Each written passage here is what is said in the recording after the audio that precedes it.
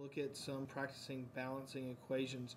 Our first equation that we have, we have aluminum plus uh, iron 3 oxide, and it produces aluminum oxide and iron. Okay, remember to balance equations, we need the same number of each element on each side. So to start off with, we're going to write down the elements that are involved in the chemical reaction. We have aluminum, we have iron, and we have oxygen. Next step is going to write down how many we have on the reactants and how many we have on the products. So here we're just looking at their subscript. So aluminum has a subscript of 1, so we have 1 aluminum. And then iron has a subscript of 2, so we have 2 irons. And then oxygen has a subscript of 3, so we have 3 oxygens. And on the product side, we see that we have 2 aluminums, because it has a subscript of 2, 3 oxygens, and 1 iron. So in this reaction, we see that what's not balanced, we don't have the aluminum or the irons balanced. So to go ahead and balance these guys, all we have to do is we put a 2, and that 2 is a coefficient. The coefficient will distribute to all of the subscripts in the formula. And guys, remember, don't cross over that plus sign. It just goes to the aluminum. So that 2 distributes to that 1, which changes aluminum now to a 2. Now we need to balance our irons. So we have two irons here, we need two over there. The subscript of iron is 1, so we put a 2 right here. That 2 distributes, and now we have two irons. So now here would be our balanced chemical equation. One thing I will point out, if the formula does not have a coefficient, like here in iron 3 oxide, it's an understood 1 as our coefficient.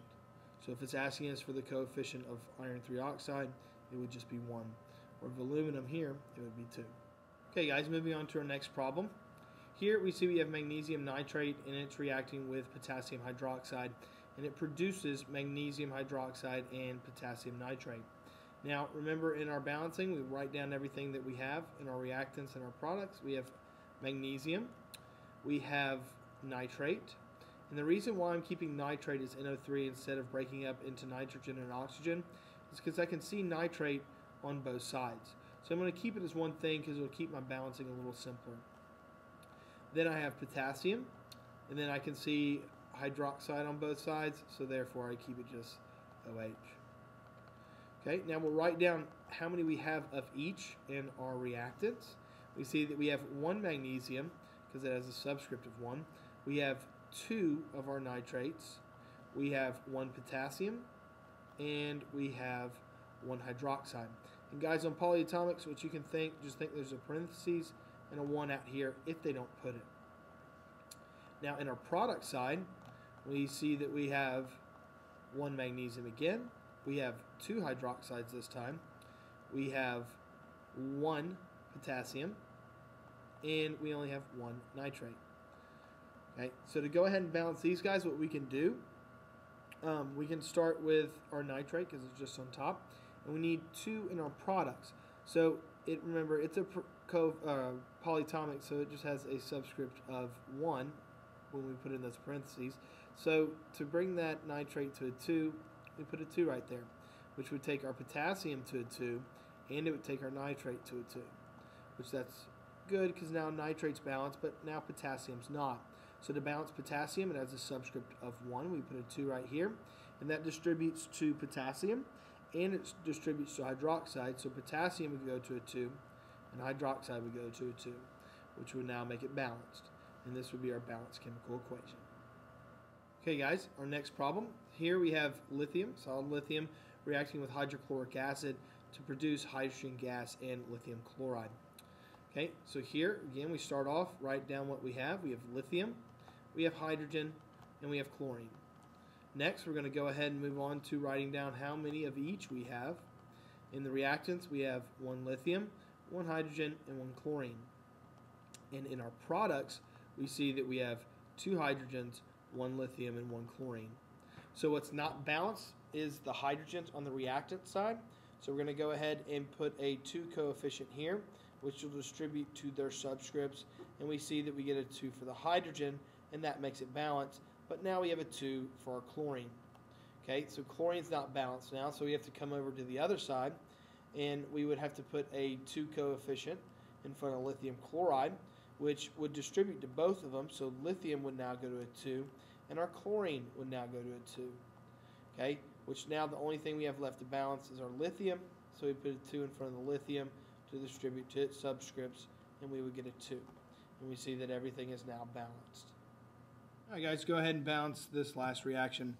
Uh, here, breaking it up into what we have, uh, starting off, we have aluminum, and then we see that here we have hydroxide, and we really can't see hydroxide on the other side, so what I'm going to do is I'm going to break this up into hydrogen and oxygen.